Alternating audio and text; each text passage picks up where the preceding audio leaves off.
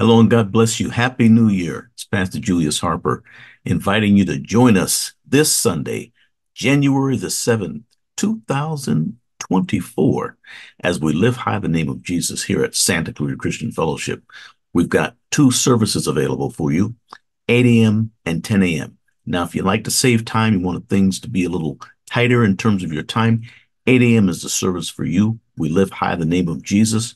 10 a.m., we have childcare and so forth, we invite you to come and be a part of the service with us celebrating the brand new year of 2024. Now, it's the first Sunday in January, of course, and we're serving communion.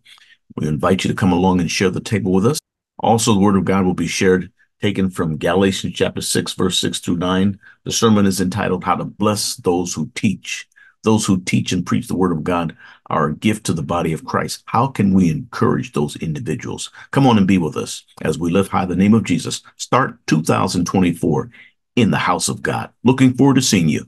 Have an absolutely great day. We're at 27754 Church Street in the city of Castaic. Freeway closed for everybody. We'll see you here. God bless. Bye bye.